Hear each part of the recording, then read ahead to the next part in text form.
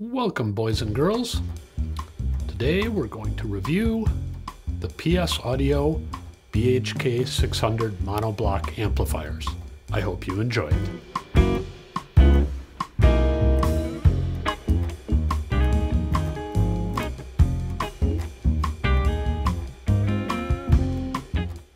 Let's first describe PS Audio and the BHK 600 amplifiers because they're out there and they might surprise you and they might not be what you expect. Those of you who've been around for a while, I mean decades, may think of PS Audio as a solid, high quality manufacturer of mid priced, uh, high end audio. Uh, but in the last I don't know, I'm going to say 10 years, Paul McGowan, who is still running the show, has engineered something of a transformation of the company into a full fledged, fairly extreme high end audio brand. And I think this product, the BHK 600, is particularly representative of that transformation. So I want to just make you aware of that because this is an exceptional amplifier. Uh, I'll talk about sound quality in a bit, but let's just go through some of the specs because uh, they're eye-opening. Uh, as I said, they're mono amplifiers, so each one weighs 108 pounds, so they're uh, big and beefy. Uh, nominally, we're talking about an amplifier that's rated at 600 watts into 8 ohms 1200 watts into 4 ohms and 2000 watts into 2 ohms. That's per channel. And that assumes that you've got sufficient electrical power to actually uh, meet those output specifications. So these are beefy amplifiers simply judged from the perspective of power output. What's interesting is if you read the details of the PS Audio website, I think those numbers are intended to be quite conservative because, and let me just look here and make sure I don't misquote these numbers. The actual rated power on the PS site is 950 watts per channel into 8 ohms and 1500 watts into 4 ohms. Okay, I think that's almost a distraction uh, PS Audio does a good job, and other manufacturers have done a good job of pointing out that a lot of our listening is done in the, you know, one, two, three watt range. Uh, that's because the low level signals and the even the average output required to do uh, music at let's say I typically listen at 78 to 80 dB, which is louder than you might think, but not loud. Uh, that those averagey kind of levels uh, don't tell you what you need in terms of power output to reproduce transients. So, uh, typically we would say that a symphony orchestra can put out 110 dB peaks. That's if you're just playing symphonic sounds, and I'm not saying that's what you listen to. It's just a reference point for measurements of what can be done with mainly acoustical instruments in large concert halls. That means our average level might be, let's say, 80 dB, and we have 30 decibel peaks. You need a lot of power to reproduce those peaks. If you have relatively inefficient speakers, you're going to need even more power. If you have relatively efficient speakers, maybe not quite so much, but the differences are uh, astounding at what is required to actually produce transient peak, peaks well. And I think what PS Audio has tried to do with this amplifier is say, let's come as close as we can to taking the transient limitations out of the system. Uh, and as I'll tell you in a little bit, that's certainly what I heard. What's interesting about this amplifier is it always sounds relaxed. I mean, it sounds very dynamic. Don't get don't misunderstand, but it doesn't sound like it's trying hard. It sounds like it's reproducing music, and that just doesn't seem to matter what kind of music it is, how transient or poppy or dynamic it is. This amplifier just seems to be able to reproduce that. So I have the feeling that the PS Audio people are kind of onto something. Whether you need this much power or you could use half as much power or a third as much power, I really can't tell you. I want to keep uh, exploring that question, but uh, they've done a very nice thing, I think, which is to kind of take power output out of the equation. But that's not all that's interesting about this amplifier. Another interesting point here is the designer of this amplifier. This amplifier and several of the other PS Audio amplifiers was designed by Bascom H. King. Now, again, if you've been around for a while, you'll probably have heard that name. If you've been around for a really long time, like I am, have, you've definitely heard that name. Bascom designed uh, some Marantz equipment in the late 60s or early 70s. He was then involved with both Infinity Systems. He did almost all the Infinity designs for their Class A power amp and for the servo systems in the uh, speaker systems. Again, go look up Infinity Servo Static or Infinity IRS and you'll see some of what were the bleeding edge, extreme, state of the art speakers from the 1970s. And Bascom King was around at that point in time. He was also, interestingly enough, he also worked with Jim Bongiorno at Great American Sound on some of the Ampzilla products and uh, some of the other electronics that GAS was involved in producing. And as you may remember, there was a fairly narrow window where uh, Great American Sound was recognized as, you know, pushing the envelope quite a bit. So he was involved with some uh, famous designs over time. He subsequently went on to uh, other manufacturers. He had set up a consulting firm, so he was kind of in the electronics consulting business way before that became a popular way of doing things. Um, he was also a reviewer for Audio Magazine, so he had a chance to listen to a lot of circuits, study the circuits, knowing how uh, preamps and amps worked.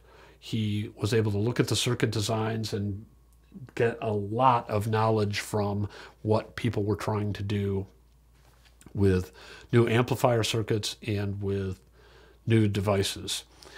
In the recent time period, Bascom King was involved in the design of some of the Constellation amplifiers, which, as you will know, we have awarded Editor's Choice Awards to. Um, and his last, I'm sad to say, because he passed away when he was 82 years old, his last amplifier design is the one under review today, which is the BHK 600. What, and PS has quite a, a bit of information on their site about the uh, some of the details of the amplifier design, and they have interviews with uh, Bascom on uh, how he went about the amplifier. And I think you see, you know, uh, typical good engineer, he was very careful about how he thought about circuit topology and I think this is really an interesting thing. And he knew a tremendous amount about individual devices. A lot of what you're doing when you're doing a power amplifier or preamplifier design is looking at the available components. Uh, transistors, this amplifier uses MOSFETs and tubes. This amplifier also uses tubes in the front end and you're looking at the device characteristics and trying to find devices that are readily available so you can actually be a manufacturing company and that have highly desirable characteristics. I'll give you an example of uh, how King applied this knowledge. Uh, I, this is not my area of expertise, but I can tell you just enough about it. Normally, in a Class AB amplifier, and this is this is a Class AB amplifier. It operates Class A only up to about one or maybe two watts. In a Class AB amplifier, you have in a transistor amplifier, you have output devices that are of a complementary type. In this case, with MOSFETs, you would have uh, N channel MOSFETs and P channel MOSFETs. But, and this is something that King observes, this is not original to me at all. King observed that the readily available uh, MOSFET devices were from International Rectifier, and International Rectifier's P channel, I believe, you can check this out, as I said, on the PS site. But the uh, N channel devices that International Rectifier makes have a characteristic that makes them not ideal complements to the P channel devices. Anyway, whichever type of device we're talking about, he decided to use both uh, N channel devices in the output stage of this amplifier. That takes a special circuit design and some other things he had to compensate for. Uh, so it's not just like a slam dunk, you would always do it. You wouldn't always do it. But he figured out a way around it so that he could optimize around this particular device that uh, where one of the channel types has good characteristics, and he figured out how to make that work. And uh, interestingly enough, using a design that he had discovered in a Yamaha amplifier back in the early 90s. So, you know, uh, standing on the shoulders of giants is how great things happen. And he obviously understood that and practiced that. My point in all that is not to go into the minute details of how the amplifier is designed, but that you it really benefits your work if you have a deep and broad understanding of the devices that are available to you. And then you have a deep and broad understanding of circuit topology so that you can match the circuit topology to the available devices, compensate for their characteristics. And the third thing is you actually really care about listening and your fundamental evaluation is yes, you start with measurements, but your fundamental evaluation is does it sound like music? And King obviously went with that approach. And if you watch some of the videos that you can find online with him talking, uh, he might have been an older gentleman, but he was sharp as a tack and clearly was in love with doing amplifier and preamplifier circuit design. Okay, that's all cool. You've got big amplifier, very powerful, and you've got an interesting circuit design that really tries to take each stage in the amplifier and optimize it around currently available state of the art devices. That's also really nice. Uh, PS, because I think you never get that far from your roots, has priced this amplifier at 32500 a pair, which to some of you may sound astronomical, but actually, given the power output and some of the amplifiers it competes with, this is an amplifier that's at, I don't know, depends on how you look at it, but is at uh, 50 to 70% of the price of competing products, at least as measured by the power classification that we're talking about here. So I hope that's enough of a warm up to have you understand why we were interested in this power amplifier from the beginning. I've spent about six months listening to it. Uh, I wanted to make sure when we're talking about something at this level that I really knew what was going on and that I could identify some of the characteristics or lack of characteristics that are on hand here. And I'll be back in a minute to tell you what I found.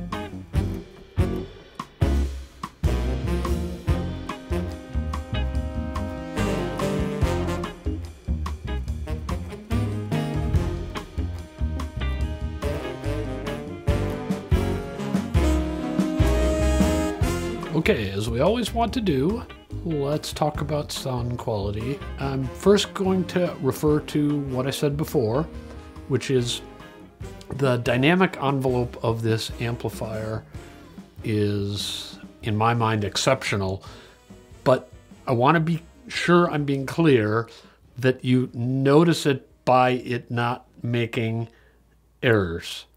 It doesn't clip or it doesn't crush or it doesn't crunch the sound. And strangely, I said it before, but I want to make sure I get this through, that leads to a more relaxed and natural sound that's just super easy to fall in love with. Okay, now I said before, hey, it depends on your speakers, but uh, a lot of times we're listening at a level of one or two watts when we're cruising along at, you know, regular listening volumes of maybe 78, 80 dB in my particular case. And to my ear, that actually sounds slightly loud. Uh, I have a very quiet room, so that maybe helps a little bit. In any event, when you're cruising along at one watt, if it is correct that in natural, real environments, I'm not talking about super over amplified environments, but I use a concert hall as a reference because uh, generally symphonies are not uh, amplified. The if we're cruising along at 80 dB on average, and we want to reproduce 110 dB peak. I believe if we're using one watt to do the 78 or 80 dB, we need something like a thousand watts to reproduce that transient correctly. There are a lot of assumptions in there.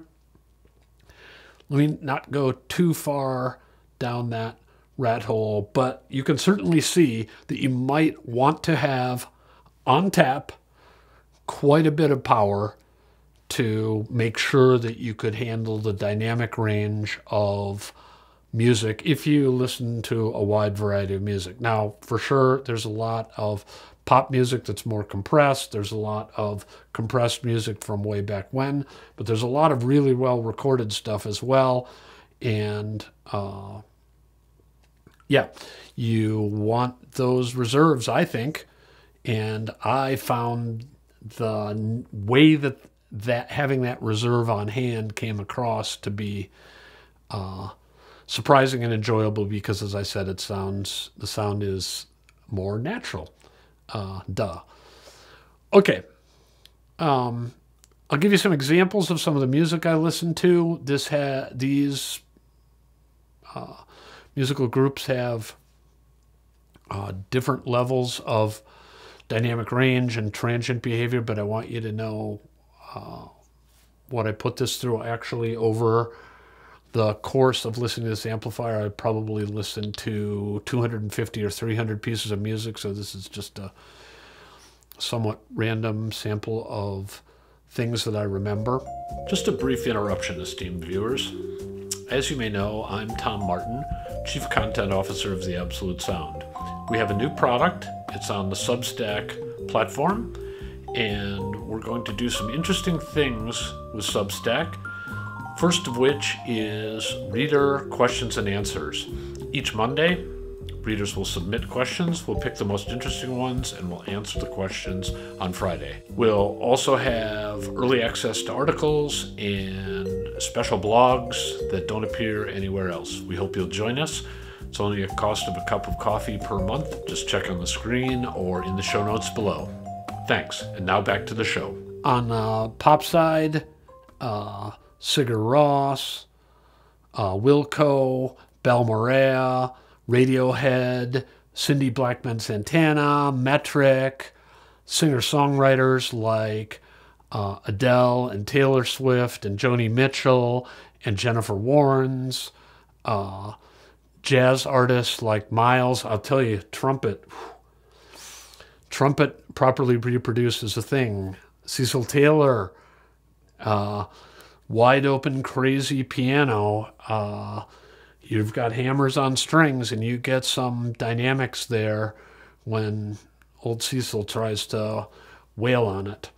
Um, and symphonically, uh, since I mentioned the dynamic range of symphonies, uh, I listen to pretty much everything from uh, Beethoven and Brahms through Mahler, Stravinsky, uh, Walton, and uh, some of the moderns like John Adams, who I really like. So it gives you kind of an idea of the bandwidth that I explored. Uh, I enjoyed the sound of the power capability here. I do have to say, I don't have the largest room. I don't have the smallest room. I've got speakers. The I've used Magnepans with this amplifier. I've used uh, some GoldenEars. Right now, I'm using uh, Magico A5s, which are probably the most efficient speaker I've had in the system at about 88 dB with a nominal one meter measurement. Uh, and yeah, it, it just it just works. Okay, enough on big power because that's that's sort of the like headline thing that's easy to talk about here.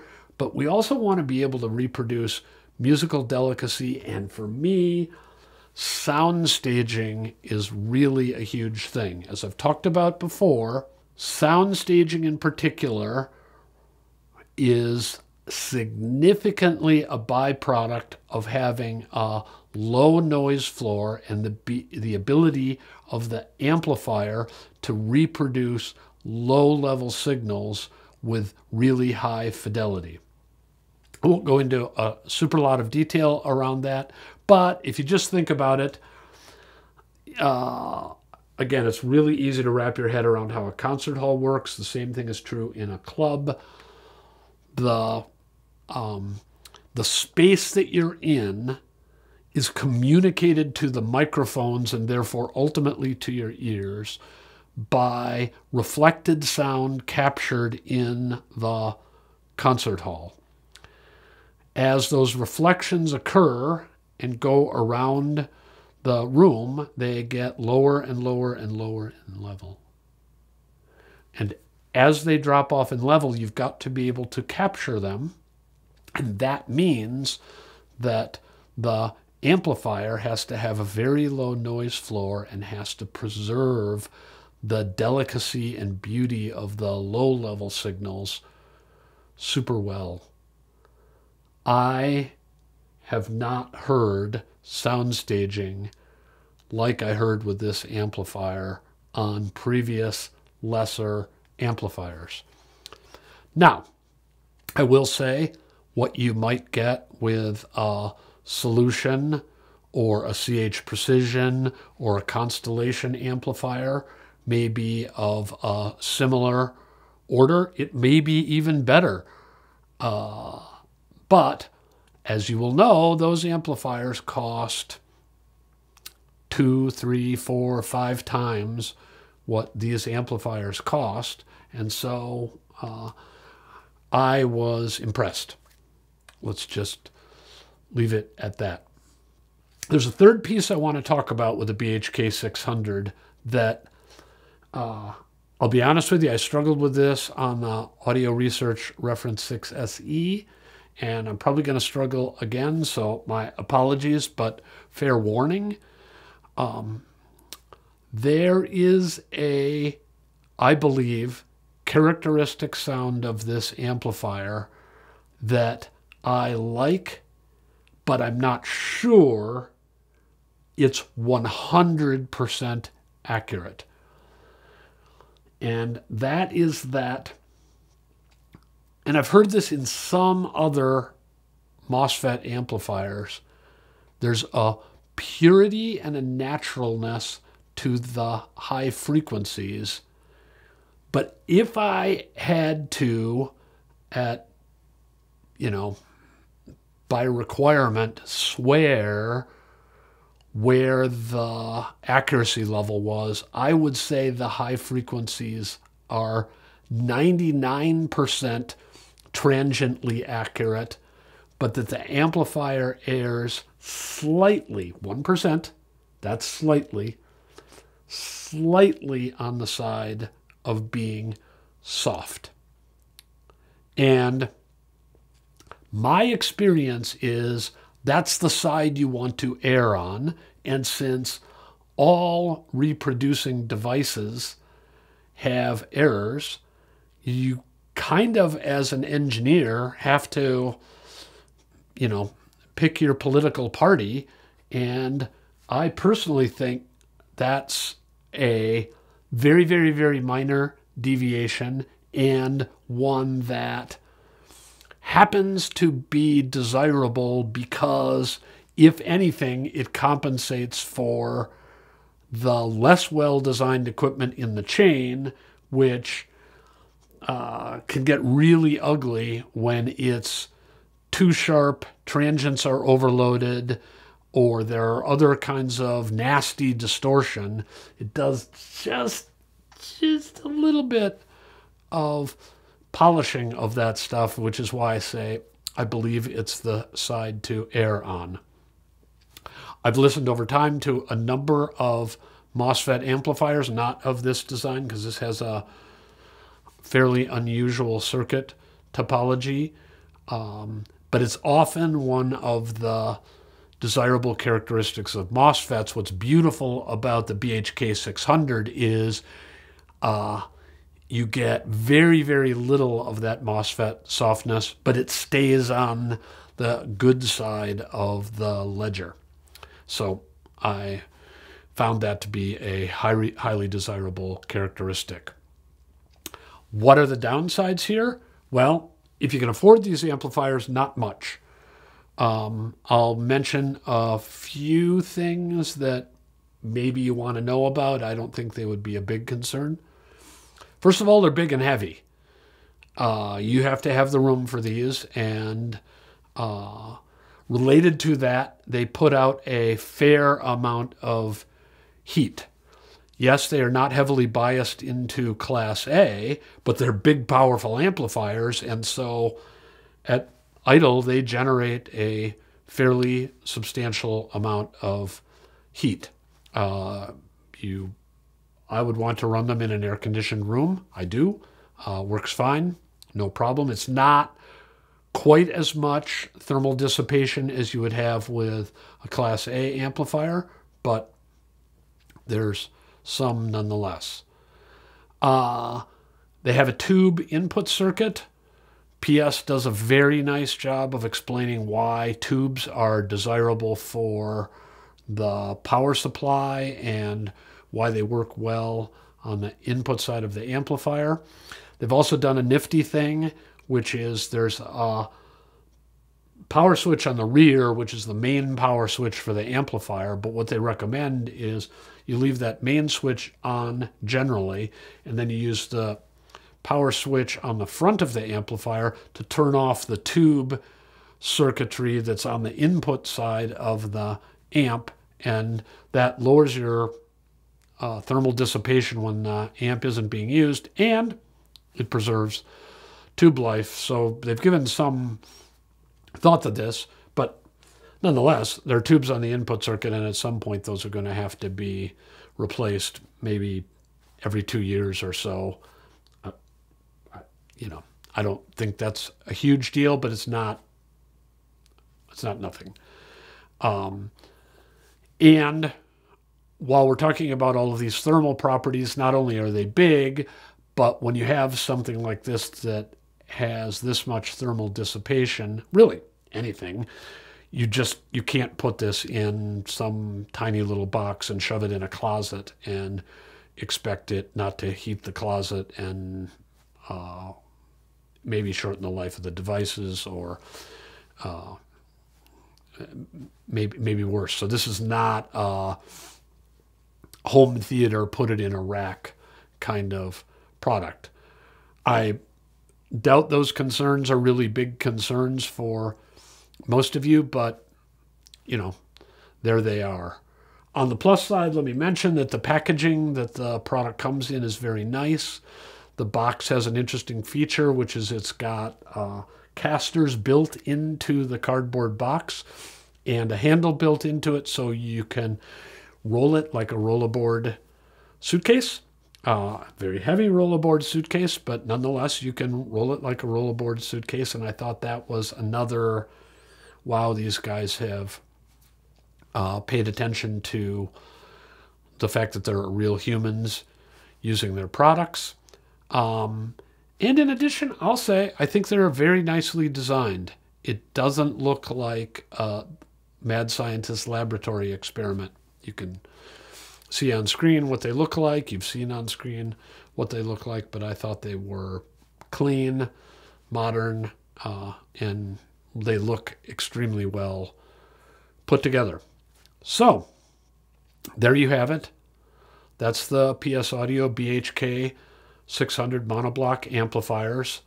Uh, I hope you can tell I've really enjoyed having them in my reference system, and uh, I think you would enjoy them too, especially if you have speakers that are a little bit on the less efficient side or if you have a relatively large room. I hope you've enjoyed this review. Uh, if you have, please subscribe to the channel. Please click on the notification bell. Please go to the website and sign up for our weekly newsletters. And of course, we would really enjoy it if you subscribe to our magazine, which, as you can see, we've been doing for 50 years now. We love this business and we want other people to be able to enjoy it, and we'd like to have you along for the ride. Thanks for joining us.